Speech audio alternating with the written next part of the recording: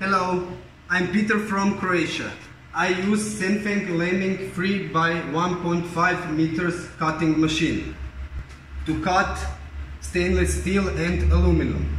This is the product that I process. It is the glove box for hospital. The machine works well. It runs 5 hours a day. Mr. Kevin, the engineer, came here to help me. We installed the machine and I learned to operate. He was very patient, timely and excellent. The cutting machine is stable, it is fast cutting and good quality.